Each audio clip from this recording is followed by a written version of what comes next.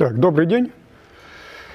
Значит, я хотел бы вам рассказать сегодня э, некоторые новые данные, э, э, которые мы имеем сегодня о Солнечной системе. И вообще тема актуальная.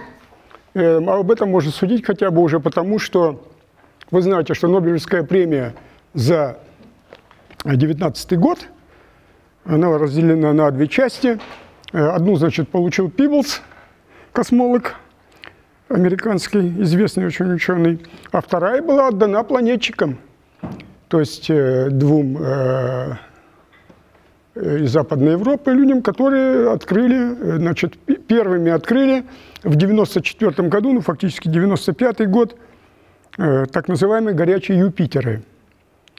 У звезды по спектральному классу Э, напоминающий наше Солнце. Вот это э, действительно очень важное открытие, поскольку открыт новый класс космических небесных тел, и э, все это связано. И на фоне вот этого сразу стоит вопрос, а как сравниваются вот эти экзопланеты, их известно уже более 4 тысяч в настоящее время, как их сравнивать с нашей Солнечной системой? Вот. И здесь следует сказать сразу следующий очень важный факт – что среди очень многих, почти всех открытых экзосистем нет ни одного аналога Солнечной системы. Солнечная система уникальна наша. И вот надо, чтобы понять, а в чем же уникальность этой Солнечной системы, вот мы сейчас этого коснемся э, вот как раз. Ну, разумеется, тема эта безбрежная, необъятная, но нельзя объять необъятное, с другой стороны, поэтому мы коснемся только некоторых моментов наших знаний о Солнечной системе.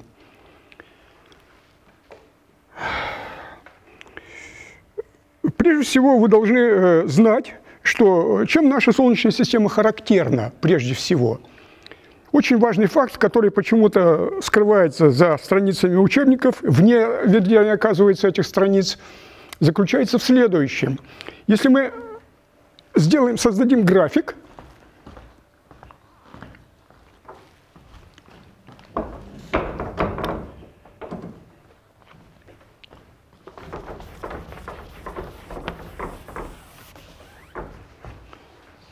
таких осях. Здесь R, а здесь ρ. Средняя плотность вещества в космическом пространстве, в Солнечной системе имеется в виду. И вот здесь у нас будет откладывать какие-то риски, то есть мы будем откладывать в порядке величин плотности.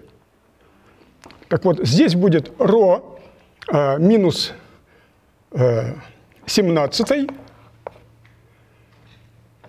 а здесь минус ро, минус... Э, нет, давайте сделаем наоборот. Тут 11, а тут 17. Вот так. Планеты земной группы тогда оказываются, вычерчивают следующий график здесь. Затем идет резкий спад после Марса, почти до нуля, а именно, посмотрите, значит, э, на 6 порядков разница в плотности, средней плотности вещества во Вселенной, э, в Солнечной системе. А затем идет второй пик, почти той же самой величины 10 минус 11. Это уже планеты-гиганты. Вот эта правая часть. И вот посмотрите, вот Поэтому очень часто, когда мы говорим о происхождении Солнечной системы, то возникает прежде всего вопрос, ах, там Лаплас, ах, Кант. Но есть принципиальная вещь, которая сейчас не подтверждается. Лаплас э, говорил о протосолнечном диске, который, из которого образовались потом планеты. Об этом говорил, кстати, и Шмидт и так далее. Сплошной. А на самом деле, если отбросить предрассудки и посмотреть вот на этот факт внимательным взглядом, то оказывается совсем иная картина физическая. Вы посмотрите, два кольца окружает Солнце, а между ними почти полный вакуум. Причем химический состав здесь и здесь совершенно разный. Здесь это планета земной группы, совершенно другой химический состав. включая тяжелые элементы, железо, и кальций, и железо, и золото, и так далее. А здесь углеводороды. Все. Вот оказывается, Солнечная система, по-видимому, произошла из двух различных кольцевых зон, которые окружали наше Солнце. Вот это э, начало, вот э, как бы запевка к тому, что сейчас я буду говорить о чем. Ну, прежде всего мы начнем с Луны. Ближе всего к нам и, пожалуй, по важности э, для будущего человека, для будущего человек, человечества, да и, в общем-то, и для прошлого, Луна имеет первостепенное значение по своей важности. Может быть, Луна – это единственный объект, приходит на ум какая-то присказка тот. Э, способен ли сын идти по стопам своего отца? И вот один сын заявляет, что «папа, я никогда не пойду по своим стопам». И это сказал сын Армстронга, который шел по Луне. Луна, она хоть и далеко, э, но она близко в то же самое время. Вот очень важные, сейчас мы как раз к этому перейдем.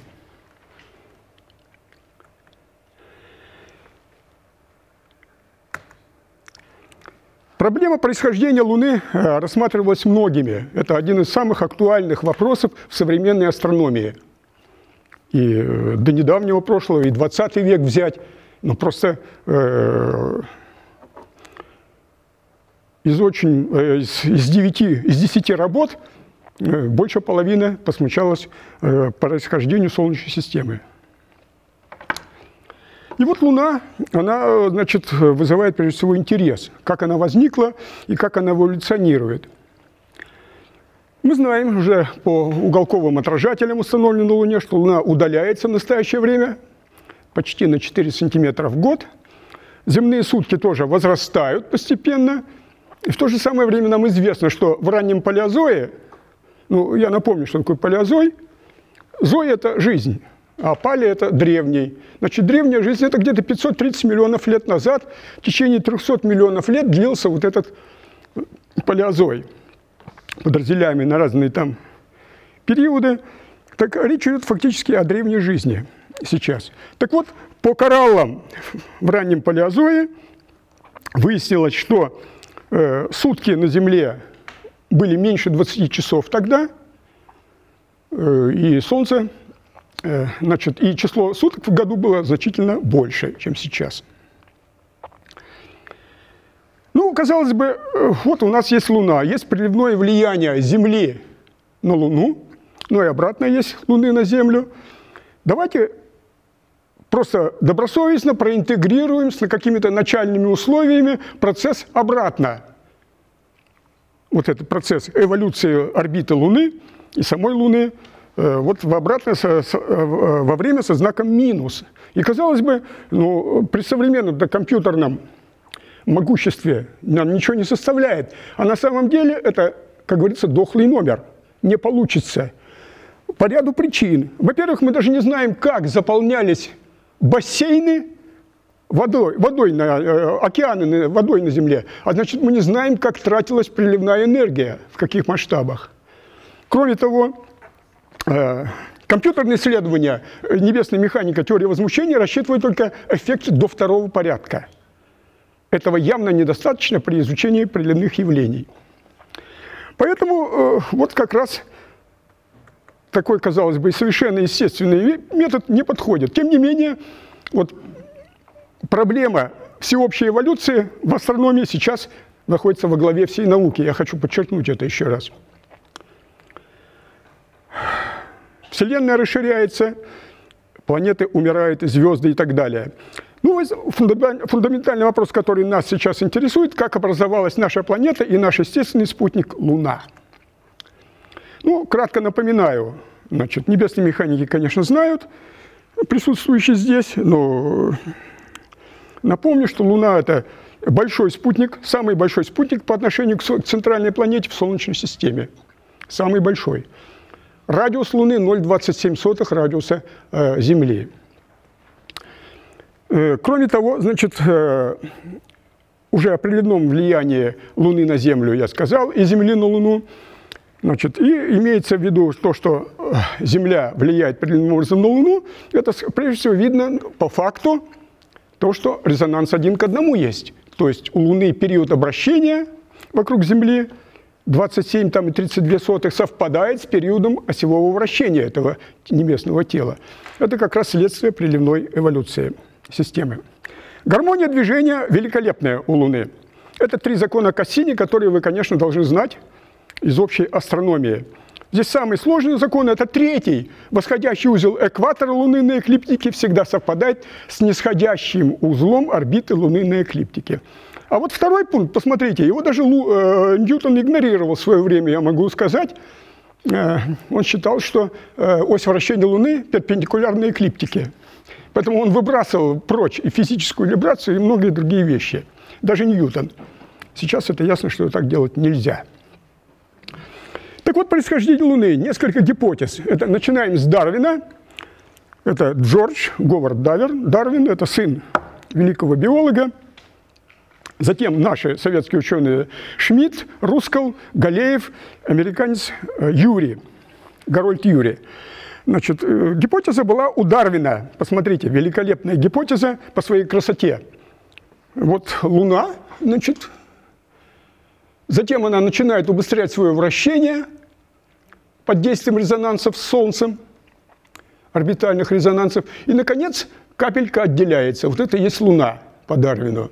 И потом она уже приливное влияние э, Земли на Луну удаляет ее и продолжает удалять от нашей планеты.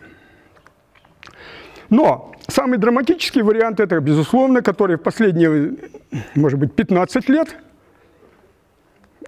да, где-то около 15-20 лет, значит, это импактное происхождение Луны.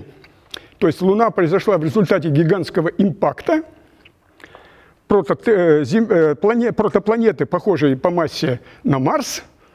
Удар был скользящий, это тщательно моделировалось, и очень многие свойства Луны воспроизводятся сейчас, оказывается, с помощью вот этой катастрофического сценария, вот этого.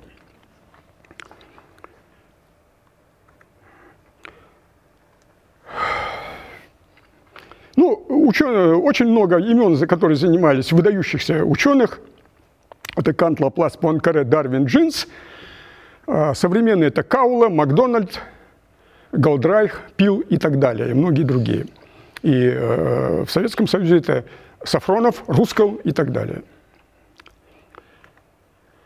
Ну вот, обратим внимание, во всех этих трудностях с происхождением Луны, собственно говоря, настолько это давно произошло, отделение Луны, и образовалась Луна, настолько уже приливные эффекты стерли все следы вот этого образования, то казалось, зацепиться-то не за что – где найти зацепку, которая бы повела вглубь вас? И вот, оказывается, можно найти такую зацепку в следующем малоизвестном факте. Оказывается, центр масс Луны немножко на одну тысячную радиуса Луны, всего на одну тысячную, смещен по отношению к центру фигуры. А что это может дать? Вот давайте сейчас как раз это мы рассмотрим. Значит, вот э, что мы наблюдаем. Вот этот диск Луны – Э, связана, значит, система координат связана с центром масс Луны, ось X смотрит на вас, вы смотрите с Земли, как бы, ось Y направлена по движению Луны с запада на восток, ну и ось Z направлена вниз, к югу. Так вот это расстояние, это смещение как раз центра масс к востоку, где-то 0,73 э, километра всего. Вот эта составляющая к вам, которая идет, она наибольшая, 1,77 километра.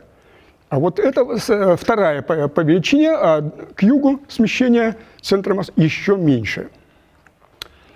Ну, вообще говоря, это результат огромной работы, следует сказать, это вот эти цифры, которые я сейчас тут привожу, посмотрите, вот эти, предположим – это огромная работа. Э, есть, значит, по данным э, The United Lunar Control Network, это сеть есть, колоссальная работа проведена. Затем э, с помощью спутников, методами лазерной альтиметрии вокруг Луны все-таки удалось определить очень точно Вот посмотрите, дельта Y – это 0,73 километра, это к востоку, о котором мы и будем говорить. Это к вам, то есть смещение к Земле, вот, а это к югу. Повторяю, это результат огромной работы огромного коллектива ученых. Так вот, когда мы говорим о как интерпретации вот этого важного, э, э, малоизвестного факта, нам прежде всего надо рассмотреть прежде всего один очень важный факт в движении вообще любого тела по слабосжатому эллипсу, по кеплеровскому эллипсу. Вот у вас активный фокус, то есть здесь центральная масса находится.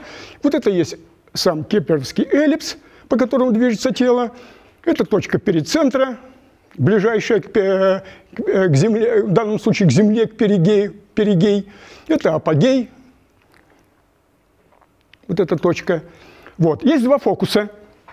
Один – это активный фокус, где центральная масса находится, Земля в данном случае, и есть пустой так называемый фокус.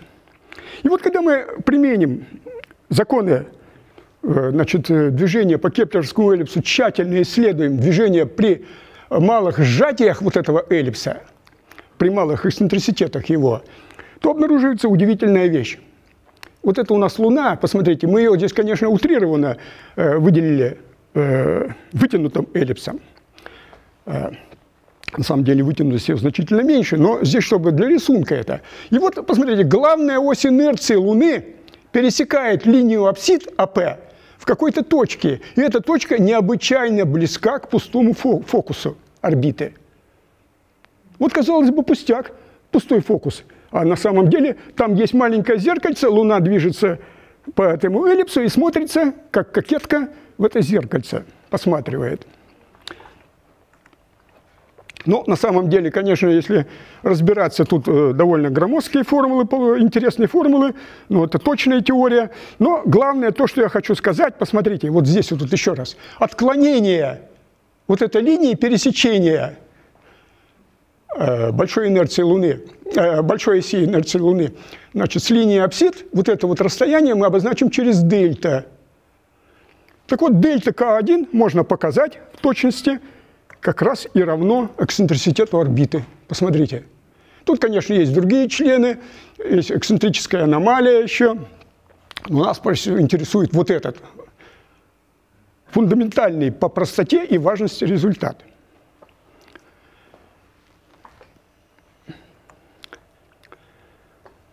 Вот это дельта, на самом деле, э, значит, э, очень мало, интервал, в котором изменяется дельта, это примерно одна тысячная от э, большой полуоси орбиты Луны. Или в километрах это будет вот эти вот величины, посмотрите. 612 километров за эллипсом, за фокусом, а это 548. Кстати, здесь есть асимметрия. Не вы догадаетесь, почему здесь асимметрия в смещении? Вот этого пересечения оси, э, большой оси инерции Луны с линией апсид. Есть симметрия, она легко объясняется, но для этого надо понимать теорию кеплеровского движения.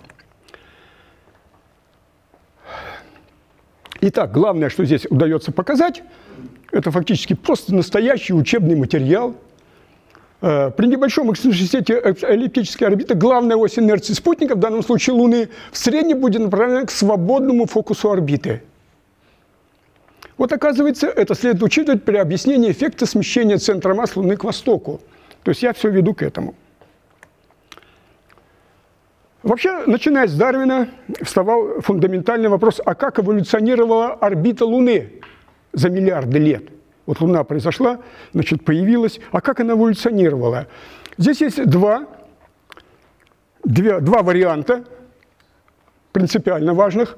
Или эксцентриситет орбиты Луны возрастал со временем, но он сильно не мог возрастать, потому что в настоящее это время эксцентриситет орбиты Луны чрезвычайно мал. Е Луны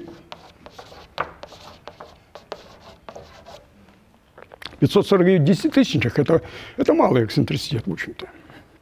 Поэтому если и эксцентриситет возрастал, то очень узкие рамки, и здесь нет никакого произвола э, в, э, значит, э, в создании механизмов изменения э, сжатия орбиты. Итак, значит, мы выяснили важный факт. При движении Луны по эллипсу вокруг Земли ее большая ось всегда смотрит примерно на фокус, на, пустой, на второй фокус орбиты.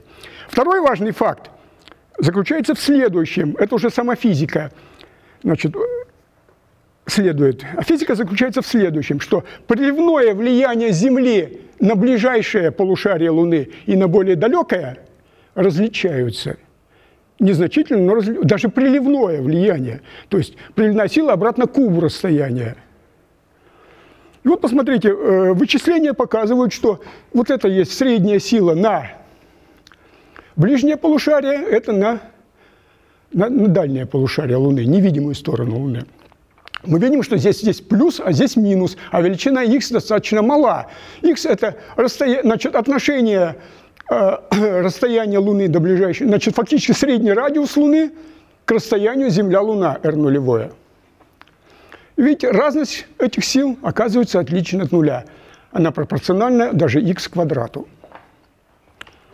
И вот выяснив это, оказывается, можно дальше продолжать э, рассуждать о нашей теме – Дело в том, что разность вот этих сил приливных на ближнее полушарие и на дальнее полушарие Луны приводит к тому, что когда на Луне началась дифференциация вещества, то есть более э, значит, высоко, э, высокомолекулярные вещества стали стекать в центр Луны, и наоборот подниматься более легкие элементы.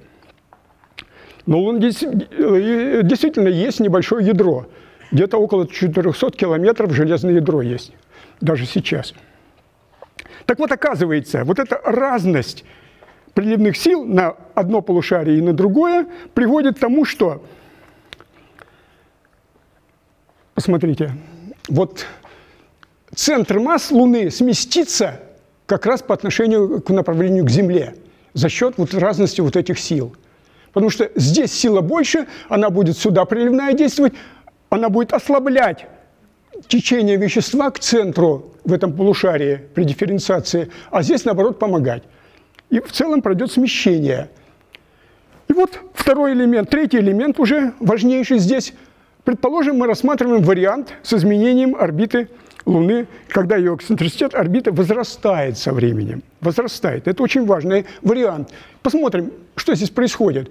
Вот у нас Луна, вот это э, как раз эллипс опять он утрирован, но для э, снимка, для рисунка это хорошо. И вот есть угол Е. Посмотрите, под этим углом как раз вот угол между направлением из центра Луны вот на оба фокуса орбиты – Здесь Земля в одном, в другом это пустой фокус. И вот мы уже знаем, что вот эта ось Луны всегда смотрит почти на второй фокус. Поэтому наблюдатель с Земли будет видеть центр масс смещенным влево. Посмотрите, вот этот уголочек небольшой, он будет влево. А влево это значит к востоку. Вот получается замечательный результат. Но это еще не все. Да, наблюдатель увидит э, центр массы Луны сдвинутым на восток относительно направления на центр фигуры.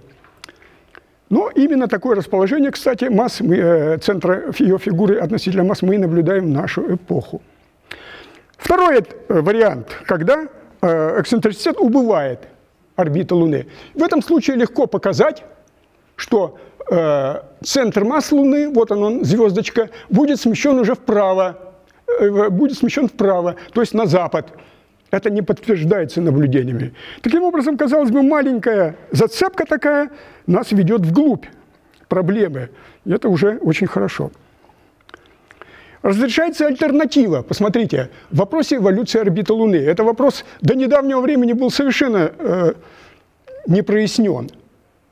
Потому что есть, конечно, результаты расчетов, как говорится, когда учитывают все тела Солнечной системы, включая и астероиды, и объекты пояса Койпера, и планеты все на движение Луны. Вот. И они показывают, что действительно эксцентриситет орбиты Луны в настоящее время очень медленно возрастает.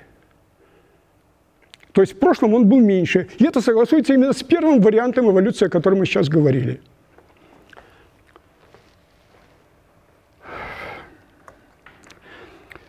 значит, этого еще недостаточно для объяснения смещения центра масс Луны на восток. И э, можно показать, что на центр, видимое положение э, центра масс относительно наблюдательной Земле будет влиять изменение формы Луны. Это второй важнейший фактор. Одно дело орбита, а другое дело форма Луны меняется. Когда она была ближе к Земле, она была больше вытянута, это понятно. Приливные силы были сильнее значительно. А сейчас э, постепенно она округляется. Вот это э, можно показать с помощью теории фигур равновесия – Посмотрите, это поле скоростей округления фигуры. Это поле линейно по координатам будет. У2, У3, У1 – это как раз поле скоростей, деформации фигуры. Вот здесь это показано. Здесь вздутие уменьшается, значит, и фигура округляется в результате. И вот посмотрим на этот рисунок, очень важный. Посмотрите, вот здесь F1, здесь Земля находится, наблюдатель. Вот центр масс Луны, вот этот угол мы обозначим через альфа между направлением на центр Луны и на центр масс, то, есть то, что мы видим с Земли. И оказывается, для этой величины можно вывести из теории фигуры равновесия дифференциальное уравнение. Оно выглядит достаточно довольно сложно, но тем не менее имеет решение. Вот оно решение. То есть эпсилон это уже сжатие э, Луны в какую-то эпоху, в какое-то время – который мы называем эпохой в данном случае. А С – это некоторое постоянное интегрирование, которое определяется по современным данным. Она очень точно определяется. Что это дает? Решение этого уравнения. Оказывается, Луна произошла, а, когда она появилась возле Земли, ее сжатие было достаточно большим, 0,31. Это большое сжатие, достаточно, например, ее большая полуось – ну, почти в 1,4 раза больше полярной оси Луны была тогда. Вот это сжатие означает вот этот результат. Но еще более, еще также важный результат, то, что Луна могла произойти, согласно этому решению, не, не дальше и не ближе, чем 3,23 радиуса Земли средних. Это около 20 тысяч километров. И вот здесь вот этот результат – согласуется, оказывается, с результатами колоссальных расчетов э, по импакту Луны, э, по импакту Земли, вот этой прототеей, о которой я говорил. Там тоже получается примерно, что Земля, э, Луна появилась где-то около 3-4 радиусов. Она появилась даже не из самого обломков вот этих вот Луны, она появилась из газового бублика, раскаленных газов, которые образовались при этом импакте гигантском. И вот оказывается, этот результат, в общем-то, согласуется и подтверждает эти компьютерные расчеты. Ну вот это только один, как говорится, элемент в изучении нашего спутника, но тем не менее, посмотрите, э, казалось бы, такой малозначащий фактор, как смещение центра масс востока, можно очень хорошо интерпретировать. Это дает и смещение, и изменение эксцентриситета орбиты Луны, ее сжатие, где она произошла, как далеко от Земли. Это очень важно. Так, ну выводы я уже сказал об этом. Значит, пойдем дальше. Теперь заглянем в медвежий угол Солнечной системы. Э, ну, медвежий, разумеется, в кавычках. Э, медвежий там, где э, можно ногу сломать далекий угол, малоизв... Еще до недавнего времени это был совершенно малоизученный район Солнечной системы. До недавнего времени, я хорошо помню еще те э, учебники, где говорилось, что Плутон – это граница Солнечной системы, достойное венчание, там и масса Плутона, там э, даже больше массы Земли называлась, я помню это. Вот. А дальше ничего не загадывалось дальше. Э, ну, вдруг вот сейчас как раз актуальнейшей проблемой астрономии в современную эпоху является изучение то, что находится за Плутоном, а точнее за Нептуном. ТНО объекты – это как раз транснептуновые объекты. Ну вот это рисуночек, схемка небольшая. Посмотрите, это орбита э, Нептуна, расположение Нептун. Значит, э, это Плутон вместе с Хароном. Значит, он находится э, в резонансе 3,2 с Нептуном. Кстати, все объекты, которые имеют такой же резонанс с Нептуном, называются Плутина. ну, название не очень удачное, но в астрономии все приживается, включая и гоблинов космического полета и так далее. Я еще покажу эти довольно нелепые названия, но так они и есть такие. Вот, Путина. Значит, ну, есть здесь резонансы уже более высокого порядка, неустойчивые резонансы. И, наконец, есть еще резонанс один к двум, который означает границу пояса Койпера, внешнюю границу пояса Койпера. Вне, ну, внутренняя граница – это орбита самого Нептуна, а внешняя – это вот резонанс. Это около 55 астрономических единиц, если от Солнца мерить. Вот вам внешняя граница пояса Койпера. Ну, а вот вообще говоря, на этой картинке, которая показывает нам вот в красочном виде, вот э, схему Солнечной системы, посмотрите, само Солнце, вот орбиты планет земной группы, вот пояс астероидов, классический пояс между э, Марсом и Юпитером.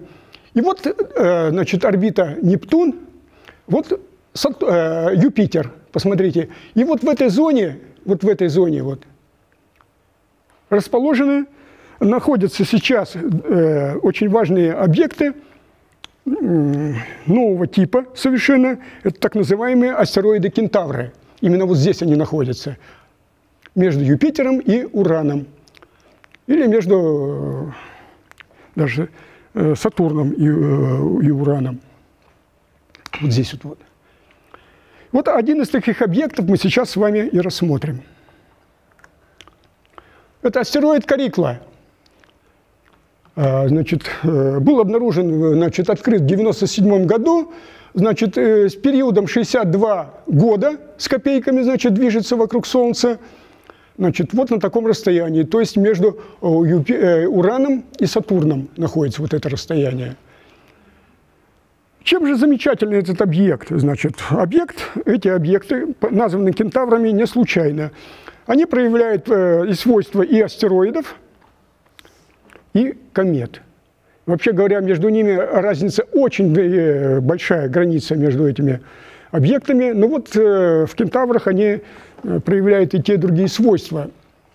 Дело в том, что первый кентавр, который был открыт чуть раньше, это кентавр Херон, как раз при, при прохождении в, пери, в перигелии он образовал вдруг кому. Вот. Сначала думали, что Херон – это крупнейший в поясе, Э, среди объектов вот этих вот э, э, центавров или кентавров. Но сейчас выяснено, что вот этот Карикла побольше его. Значит, вот его размеры, посмотрите. Средний радиус довольно значительный, 128 километров. Сплюснутость достаточно велика. Посмотрите, эксцентриситет сжатие меридионального сечения, ну, почти 0,5. Опять же таки, применяя, вот, значит, здесь это художественное изображение этого кентавра, Карикла, вот, это Солнце, так видно, здесь все размеры соблюдены. Ну, а к этой структуре мы сейчас вернемся еще, вокруг Карикла. Применяя, опять же таки, методы теории фигур равновесия, я повторяю, что здесь еще раз ваш призываю к изучению или хотя бы к знанию элементов теории фигур равновесия. Вы посмотрите, так с Луной было – так, и, и дальше будет продолжаться. Э, значит, применяя элементы теории фигурного равновесия, мы получаем вот это замечательное соотношение. Квадрат угловой скорости, нормированный на 2 π жиро, на среднюю плотность объекта. Вот. И поскольку нам фигура известна, и геометрия ее известна, нам правая, правая часть известна. Это коэффициенты потенциала внутреннего. Вот они, А1 и А3. Поэтому э, мы знаем вот это соотношение, и зная отдельно угловую скорость вращения, спинного вращения Карикла, это 7 часов, 0,04, вот это вот, видите, вот, часа, мы можем вычислить и плотность, и массу, и так далее. Масса оказывается, э, значит, плотность оказывается вот характерной для каменных астероидов, 2,7. Опять же таки с помощью теории фигур равновесия. Но когда я показывал вот эту картинку замечательную, вы посмотрите, в 2014 году был сделан сенсационное открытие, были обнаружены кольца вокруг этого э, кентавра, Карикла, Более того, дважды два кольца. Посмотрите, внутреннее плотное и внешнее с меньшей массой. Расстояние между ними 9 километров, зазор вот этот вот. А сами расстояния где-то 390 километров и 400 километров до внешнего колечка. Э, кольца имеют очень резкую границу, и, казалось бы, там должны быть спутники. Общее э, ожидание небесных механиков и вообще астрофизиков было то, что только спутники-пастухи способны такую границу создать.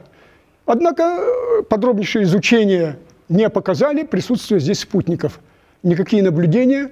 Значит, встает загадка. А как же, за счет чего поддерживается вот эта форма? Резкая форма колец вокруг этого. Вообще говоря, сенсация это в чем заключалась? Вы же знаете, что было четыре планеты-гиганта, вокруг которых там кольца известны. Это, прежде всего, Сатурн, великолепнейшая картина колец Сатурна. Потом, э, в 1977 году, я помню, были открыты кольца вокруг Урана, более тонкие уже. Э, затем, через два года, в 1979 были открыты кольца Юпитера – тоже э, вокруг планеты гиганта тоже есть кольца. Ну и э, Нептун тоже имеет кольца. И вот вдруг было совершено действительно важное открытие. Оказывается, кольца есть и вокруг малых небесных тел. Это кольца нового типа. Почему? Вот обратите внимание, а почему это кольца нового типа? Почему это важнейший факт такой наблюдательный? Дело в том, что если мы вычислим предел Роша для вот этого астероида – то есть там, где, э, за который, э, если тело вступает э, ближе к этому телу предела Роша, здесь предел Роша где-то вот здесь будет, то это тело будет разорвано притяжением этого астероида.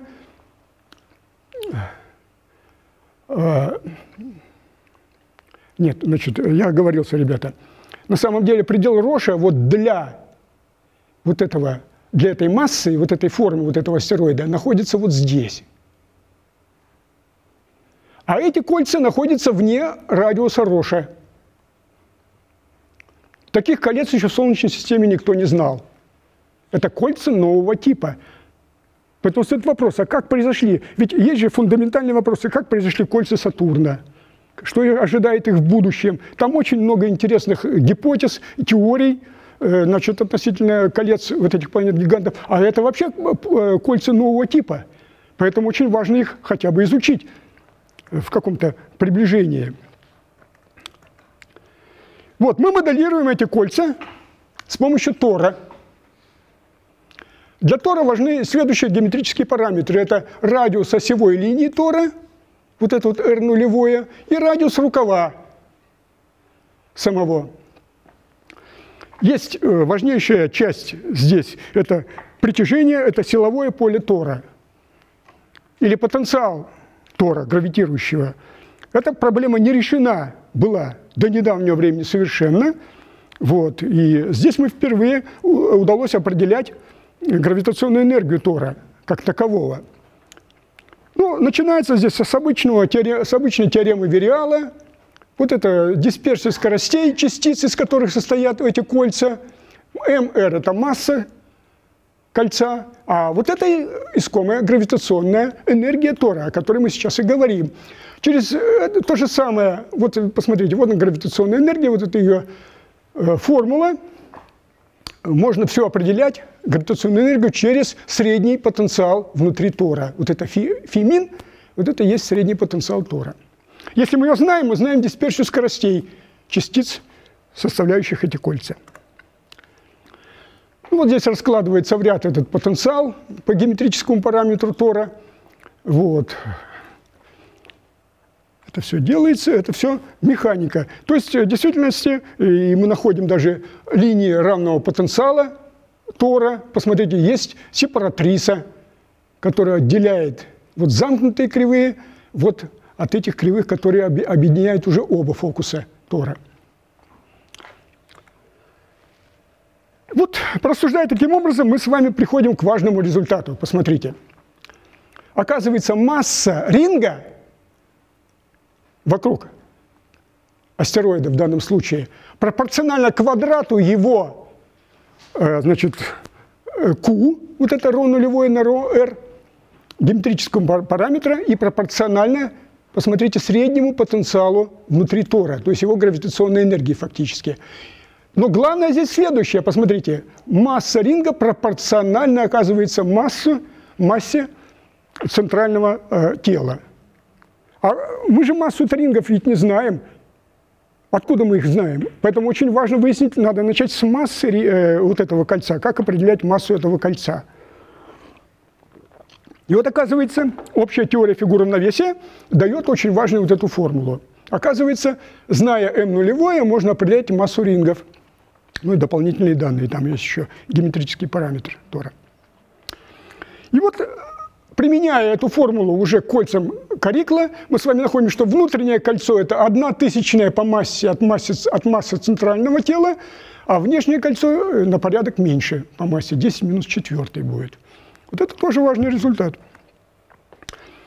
Кроме того, применяя теорию, кинетическую теорию материи частицам, мельчайшим частицам, которые составляют эти кольца, ну, к мелким мельчайшим они не являются, можно вывести, э, найти время диффузии частиц внутри кольца, можно найти э, время диссипации этих колец, оказывается. И вот оказывается, посмотрите, для колец Карикла мы получаем следующий замечательный результат. Время диссипации оказывается порядка 10 тысяч лет, ну, э, или между 10 в 4 и 10 в 5, между, от 10 тысяч лет до 100 тысяч лет – а точнее два, два вот здесь вот, вот есть, два на 10 четвертый получается для обоих колец. То есть получается очень малое, минуточку, получается очень малое время диссипации. По астрономическим меркам 10 тысяч лет или даже 100 тысяч лет – это ничто. И вот оказывается, посмотрите, кольца Сатурна, э, кольца Карикла будут быстро эволюционировать, и встает вопрос, а что с ними будет потом? Повторяю, спутников там нет вокруг Карикла, и э, структуру колец поддерживать нечем, поэтому 10 четвертой или 10 пятой лет время эволюции является реальной эволюцией. Но встает вопрос, во что превращаются эти кольца. И здесь надо вспомнить, что эти кольца находятся за пределом Роша для данного тела. То есть это означает, что эти кольца, мы считаем, что эти кольца на пути в превращение в спутники астероидов. Вот куда идет эволюция. Так, теперь ваш вопрос, пожалуйста. Какие характерны размеры и массы самих вот этих астероидов? Астероидов, э, значит, у этого где-то 130 километров, Карикл 130 километров где-то. Сейчас еще раз я покажу. Так, я не туда пошел.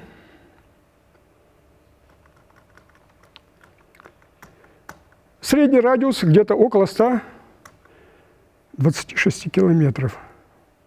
Да, вот размеры, посмотрите, вот они, э, внешнего, э, внутреннего кольца 390 километров, как я говорил, и внешнего 404-405 километров. Это ширина этих колец, внутреннего и внешнего. Ну и тут понятно, что и масса-то будет совершенно разная. Внутреннего кольца на порядок больше, чем... Ну, а самого астероида, значит, это вот.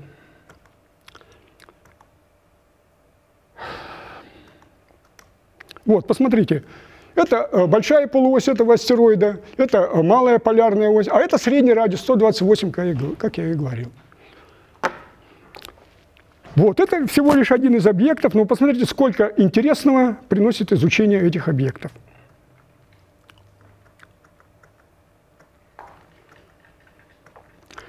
Теория фигур равновесия, о которой я говорил, ее, она применяется, ну, буквально на каждом шагу можно ее применять по отношению к телам Солнечной системы. Вот возьмем, например, третий по величине спутник Сатурна, это Япет, или Джапетус по латыни, мы его просто Япетом можем называть. Вы посмотрите, после того, как Кассини побыл несколько лет в районе колец Сатурна и спутников, он обнаружил, он в частности исследовал и Япет. Были обнаружены интереснейшие вещи с этим Япетом. Вы посмотрите, вот этот хребет экваториальный хребет на Япите, высота его около 13 километров, а ширина где-то около 20 километров. Да, вот здесь 20 километров. Это раз. Во-вторых, э, обнаружены э, цветовые особенности этого япита. Вы посмотрите, поскольку он одной стороной всегда смотрит на Сатурн, он тоже в резонансе один к одному вращается, у него есть веду, ведущее вот это вот э, полушарие и ведомое полушарие. Так вот, оказывается, ведущее полушарие его забрызгано углеродом чистейшим. Это альбедо здесь вообще близко к нулю. А здесь э, чистейший лед и альбедо очень высокая, 70-80% отражает света, вот это полушарие. И казалось бы, а при чем тут вот, это вот, вот этот хребет, о котором мы говорили? Посмотрите. А вот оказывается, есть особенности структуры этого хребта на этом япите. Там, где э, значит, у него черное полушарие, там мощный, этот хребет особенно мощный. И наоборот, на светлой стороне этот хребет вырождается в отдельные вершины уже. Почему? А это очень легко объясняется, опять-таки, с точки зрения теории фигур равновесия. Там, где полушарие черное, там температура на 16 градусов выше оказывается Кельвина. Это выяснено точными данными.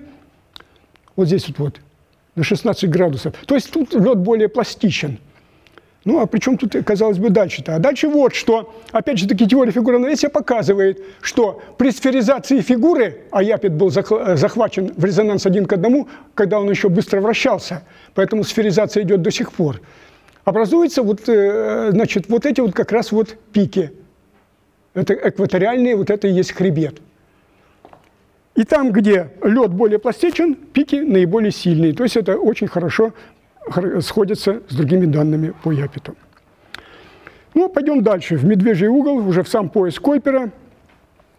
Здесь, прежде всего, объект Хаумея привлекает наше внимание. Э, значит, объект, ну, посмотрите, действительно впечатляет этот объект. По размерам он э, даже превышает по длине, чем Плутон – по поперечнику, по своим линейным размерам. По массе он уступает Плутону, поскольку, оказывается, этот объект Хаумеа очень вытянут вдоль одной из своих осей. И вращается этот объект за, вы не поверите, если размеры там 2400 поперечники у нее, 2400 километров, то вращается быстрее 4 часов. Это настолько э, бешеное вращение, ну, просто что очень трудно вообразить было бы. Потому что у Земли там 24 часа, вот, э, а тут меньше 4 часов. Вообще это самый объект, самый быстровращающийся объект в Солнечной системе, радиус которых больше 100 километров. А тут далеко за 100 километров. Это самый быстровращающийся объект.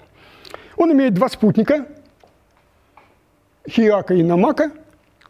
Это опять-таки индонезийская эпос индонезийский. Вот, но, э, по-видимому, Хауме чем привлекает, посмотрите, наше внимание?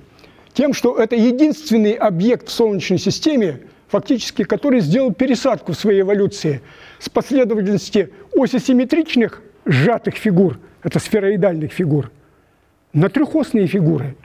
Вот для специалистов по теории фигур это важнейший факт, и сейчас я немножко его поясню все-таки.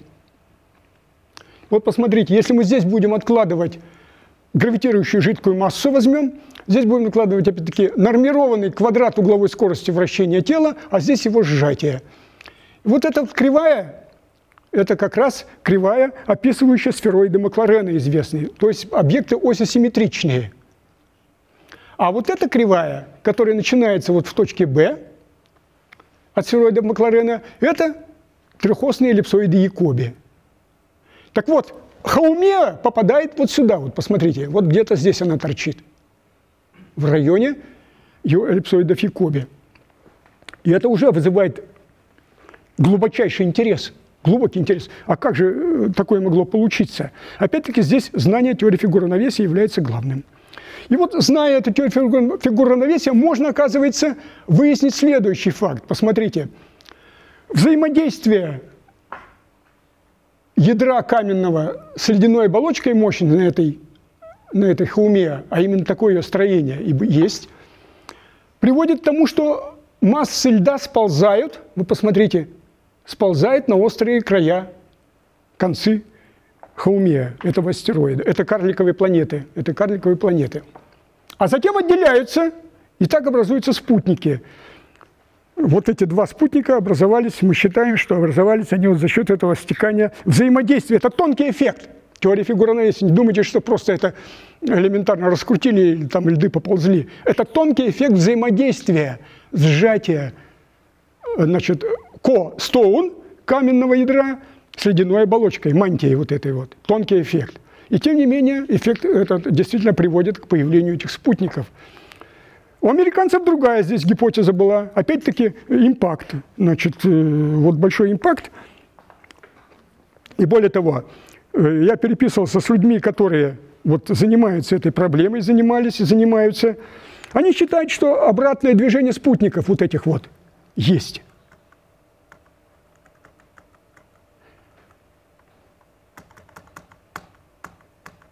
Вот посмотрите, если Хумия вращается в этом направлении, посмотрите, в положительном направлении, так называемом, то спутники движутся в обратную сторону, они считают. А на самом деле э, исследования показывают, что наиболее вероятно движение именно prograde motion. Не ретрогрейд, как говорят американцы, а прогрейд. А это и противоречит их теории импакта. Поэтому вполне возможно, что новая гипотеза очень важна в данном случае тоже.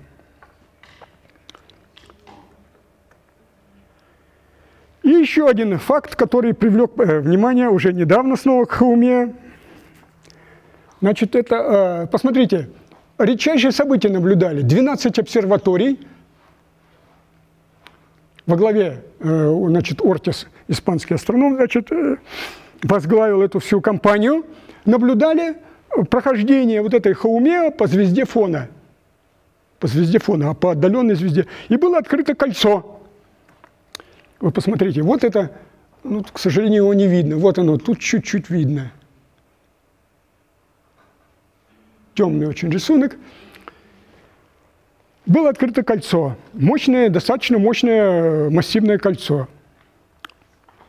И вот динамика этого кольца тоже вызывает большой интерес у нас.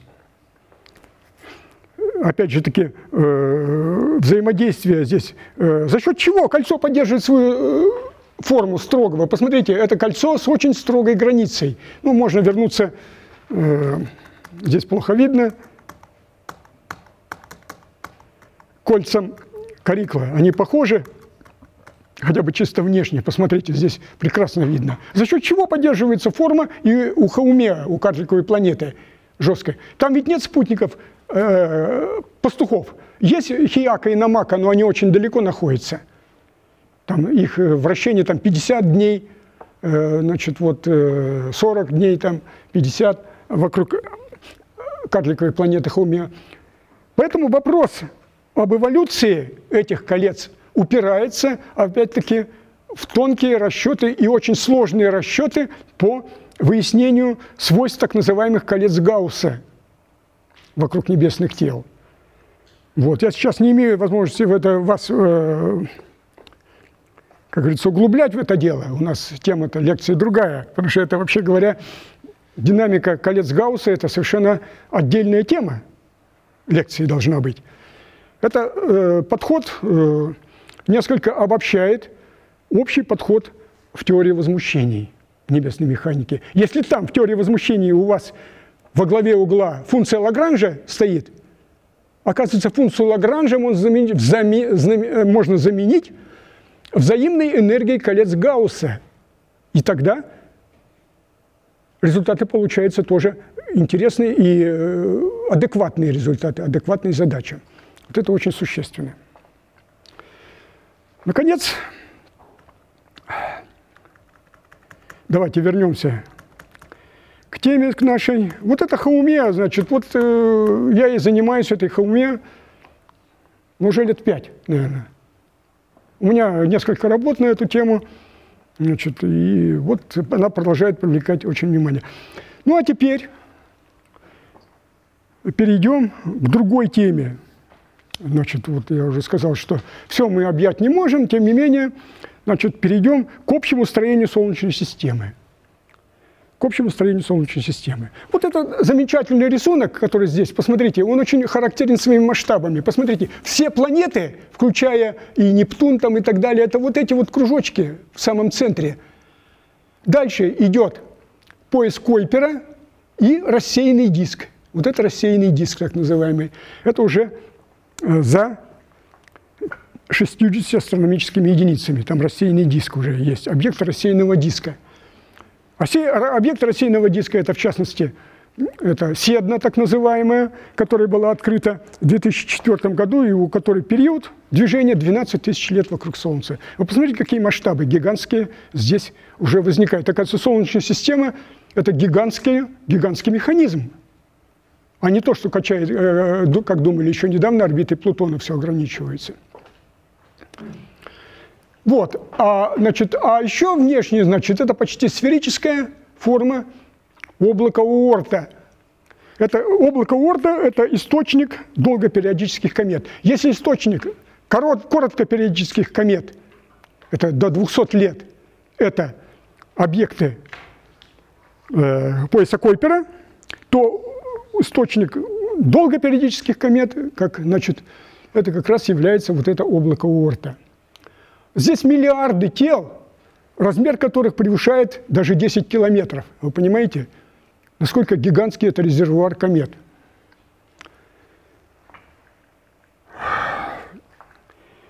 Вот э, опять-таки к этой, здесь возможно два подхода, понимаете, при анализе. Два подхода. Первый подход – обычный э, небесно-механический подход. Когда исследуется движение отдельных малых тел или комет, например, в гравитационном поле звезды и галактики. Значит, это э, масса, огромная масса работ – это очень важная часть небесной механики. Это обычное движение в силовых полях точек. Но мы подойдем к этой проблеме, проблеме строения облака Орта с точки зрения теории фигур равновесия – при этом будем опираться и на статистику, разумеется, движений. Задача, задача ставится так. Нас интересует равновесная форма околозвездных облаков, которую эти облака принимают под влиянием вращения вокруг центра галактики и, и внешних гравитационных полей. Это какие внешние? Это центральная звезда и э, поле самой галактики. Опять-таки, с точки зрения теории фигур равновесия. Итак, мы считаем галактику оси симметричной поначалу, вводим систему координат, находим пробную звезду какую-то, рассматриваем движение ее и рассмотрим, какие силы действуют на эту пробную звезду. Вот у нас есть баланс гравитации, гравитации и центробежной силы, или вторая производная дает нам следующее дифференциальное уравнение движения, очень важное. Значит, и в итоге мы получаем следующий общий, э, значит, какой, значит, Компактность облака позволяет самого, по сравнению с размерами галактики, считать, что мы будем рассматривать влияние галактики внешней только в приливном приближении на это поле облака Орта. Ну и э, в таком случае потенциал мы можем записать в таком виде, посмотрите. Это потенциал центральной звезды, это центробежный э, член, это влияние значит, галактики уже на потенциал данной точки. Или можно считать, вот взять общий потенциал, обобщенный потенциал. Вот это потенциал центральной звезды, это потенциал, связанный с вращением. Значит, а это потенциал, член, э, который определяется влиянием галактики уже на, на вот это поле. Значит, здесь уже, посмотрите, уже в такой постановке вы чувствуете, если вы слышали о проблеме Роша, возможно, здесь уже более широкая постановка проблемы, чем для фигуры Роша известной. Потому что здесь мы учитываем внешнее поле галактики и вращение еще вокруг центра галактики. И вот здесь на помощь нам приходит, вот нам, в чем проблема-то состоит? Посмотрите, вот мы записали вот этот вот общий потенциал, мы его сейчас будем анализировать, но здесь есть вот этот член, например, D2 φ по dx третье – это потенциал, гравитационный потенциал галактики. И весь, вся проблема заключается в том, а как его оценить, его значение численное. Вы знаете, вам по динамики звездных систем рассказывали, что Солнце совершает не только движение вокруг э, центра галактики с периодом 240 миллионов лет, но и э, также колеблется при этом относительно плоскости галактики. Сейчас она находится выше плоскости галактики, там с периодом где-то десятки миллионов лет. Вот эти колебания есть. Так вот, это колебание, вот, э, колебание перпендикулярной галактики определяется как раз вот этим членом и определяется. В этом и загвоздка. И оказывается, можно вычислить все эти коэффициенты через постоянные орта в динамике звездных систем для нашей галактики.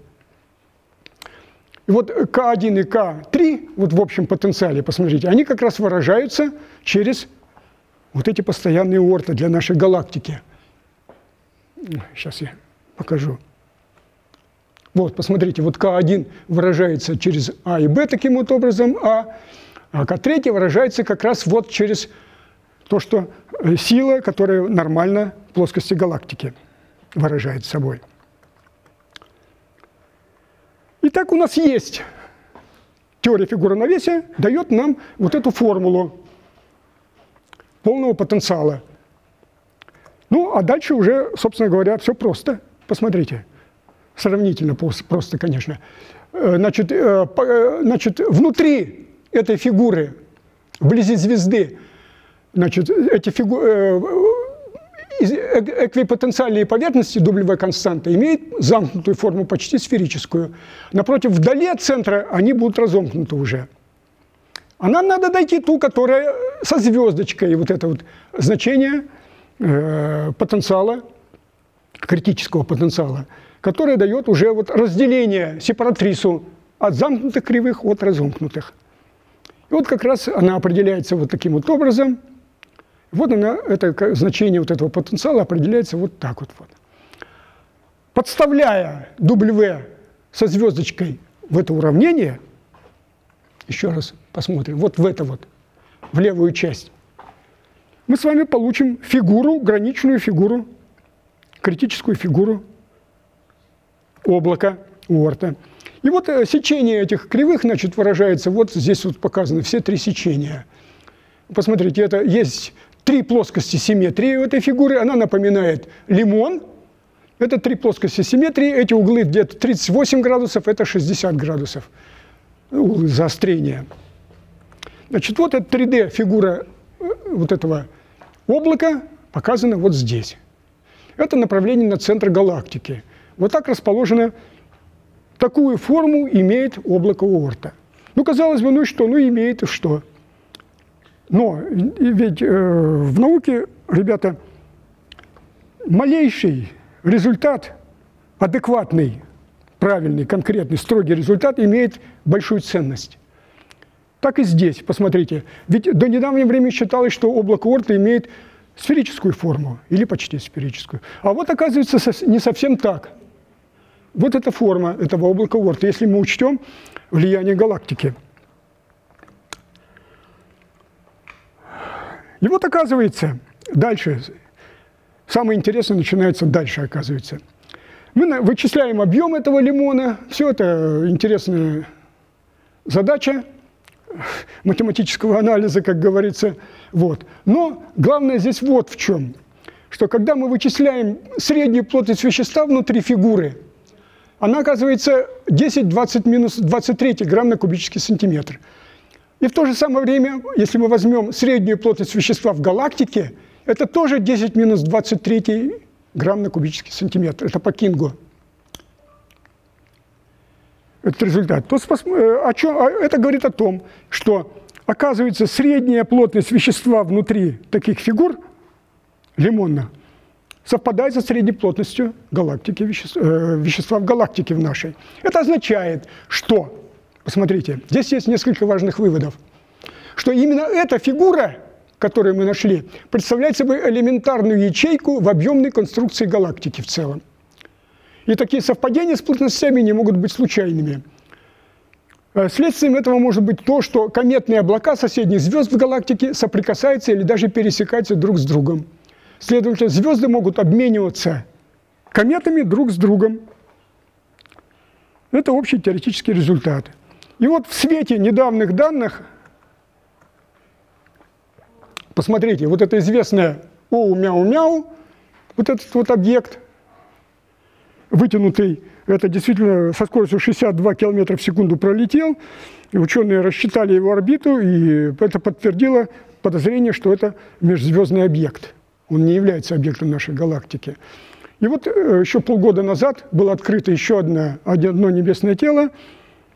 Это комета Борисов в Крыму, которая тоже с огромной скоростью пролетела возле Солнца и удалилась навсегда от Солнца. Вот эти два объекта уже межзвездные. Посмотрите, это звоночек, тревожный звоночек. Поэтому имеет смысл рассмотреть, насколько пересекаться могут эти фигуры лимона между собой. Вот. Но это для этих точных данных пока нам не хватает. Вот. Э, надо уточнять постоянные орты. Даже по данным Гайя эти постоянные орты определяются, и то этого еще недостаточно, чтобы точно определить объем вот этих фигур о которых мы сейчас говорим, облако Орта. Ну а в целом я хочу сказать, что ну, общий вывод, что имеющиеся в настоящее время данные наблюдений, это на доске, позволяют сделать кое-какие очень важные, интересные, главные, главные интересные выводы о структуре и составе Солнечной системы. Вот и мне сказала э, Елена Владимировна вам показать какую литературу. Ну, литературу давайте вот по теории фигуры равновесия. Это, конечно, Чандра, эллипсоидальные фигуры равновесия, Субботин, третий том, курс небесной механики, ну и третья книга, э, значит, теория потенциала фигуры равновесия. То есть я могу все это дать вам. И э, презентацию я тоже пришлю Елене Владимировне данного доклада.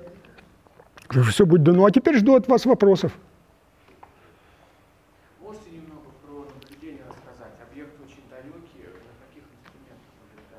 Ой, это целая проблема, да. Значит, э, вообще пояс, объекты пояса Койпера наблюдаются с огромным трудом. С огромным трудом. Э, потому что они темные, во-первых, очень темные и очень далеко находятся. Но сейчас э, вот приемники света все-таки совершенствуются, и на крупнейших телескопах – все-таки вот несколько, э, уже сотни таких объектов открыты. Среди них и Хаумеа, и Седна, и так далее. И проблема девятой планеты, о которой я просто сегодня не успею, не успею сказать. Я хотел вам сказать о ней, но сейчас не успею уже, наверное, сказать. Вот. Поэтому ждем, чтобы прогресс здесь наступил. Вы совершенно правы, значит, что э, вся надежда сейчас на резкое улучшение наблюдательных данных. Это гигантские телескопы 30 метров в диаметре, 50 метров в диаметре зеркала, значит.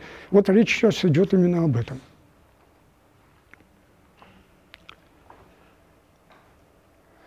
Да. Когда речь идет о, об облаке аорта, и вы говорите про вот эту форму, я так понимаю, что сейчас это все только теоретические, теоретические вычисления, и как-то реально ее оценить мы не можем. Ну, разумеется, если бы мы находились э, на галактике Самбрера где-нибудь, мы, возможно, бы изучали бы форму нашей галактики, более, э, Солнечной системы более точно. Вот. Но, э, конечно, это теоретические расчеты, но это расчеты адекватные, которые подтверждаются наблюдениями. Они на них основаны, эти расчеты, это не какой-то Значит, это подтверждается наблюдениями. Вы посмотрите, совпадение плотностей – это вещь очень интересная. Еще вопросы, ребята, давайте смелее, что там. К сожалению, я сказал, что не, успею рассказать о, четвертой, о проблеме четвертой э, планеты 9. Вот, это интереснейшая вещь, но сейчас уже э, вы уже устали.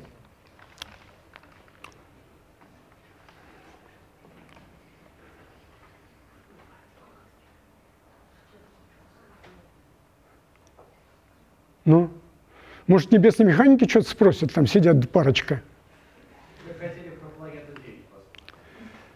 Э, я как-нибудь другой раз. Вот про планету 9 я рассказывал в, в, в октябре этого года. Вот здесь же, в этом зале, но рассказывал в фестивале «Открытой наука», есть так называемый. Я специально так и заглавил ее. Существует ли планета 9?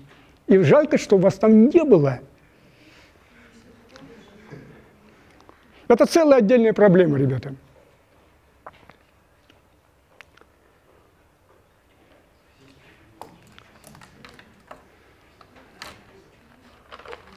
Ну, давайте еще вопросы, давайте, я жду.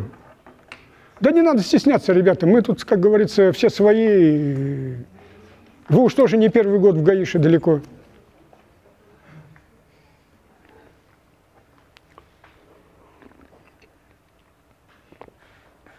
Но если нет вопросов, тогда позвольте откланяться. Спасибо. Спасибо.